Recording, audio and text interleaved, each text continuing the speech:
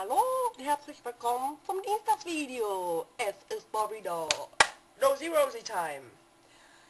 Ja, ich wollte mal so ein paar kleine Themen sagen, ein paar Sätze einwerfen und äh, kommentieren zu manchen Aussagen meiner Freunden, Bekannten, also Reaktionen von der Außenwelt über Lesben, also was ich so alles höre. Zum Beispiel Müsst ihr echt auf die Straße gehen, halbnackt und so rumtanzen und eure Sexualität so anprangern? Ist doch krank. Ja, vielleicht mag das für euch krank sein, aber warum tun wir das? Warum gehen wir auf den CSD und demonstrieren? Weil wir in Deutschland und auf dieser Welt und wo auch immer immer noch nicht hundertprozentig gleichgestellt sind. Und solange das so ist, werden wir auf der Straße halbnackt rumtanzen. Dann eine Reaktion, die ich kriegte, weil ich jetzt hier so ne, über Lesben spreche, also kam aus meiner Familie. Ja, muss das denn sein, dass du dich jetzt da als Lesbe so präsentierst und deine Sexualität so in den Vordergrund stellst? Ja, das habe ich mich auch gefragt. Und zu dem Ergebnis bin ich gekommen,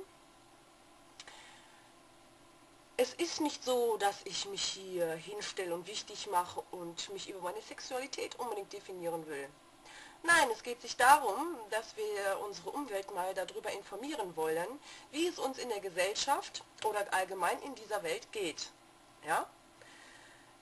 Und ich weiß nicht, ich finde es auch nicht unbedingt so super toll, immer nur über meine Sexualität ähm, eingestuft zu werden. Denn ich habe noch andere Dinge, wie zum Beispiel, ich bin auch Mami, ne? Und ja, ich bin auch eine gute Freundin. Und nö, all sowas. Also, ich bin nicht nur lesbisch. Aber ich habe mich nun mal entschieden, bei The Nosy Rose mitzumachen. Und zwar deshalb, weil es Zeit ist, dass alle Menschen gleichgestellt werden. Es geht sich gar nicht mal so viel um mein Lesbischsein oder generell um Schwule und Lesben. Es geht sich generell darum, dass immer noch Menschen diskriminiert und ausgeschlossen werden. Und wenn es doch angeblich so scheißegal ist, welche Sexualität man hat in Deutschland, warum haben Schwule und Lesben dann nicht die gleiche Rechte in der Ehe, im Steuerrecht und im Adoptionsrecht Heterosexuelle. Und deswegen hundertprozentige Gleichstellung für alle. Gleiches Recht für alle. Ja, in jeder Hinsicht. Gesetzlich, moralisch, alles. Es hat nichts damit zu tun, dass wir uns im Vordergrund stellen, nur dass wir unser Recht einfordern.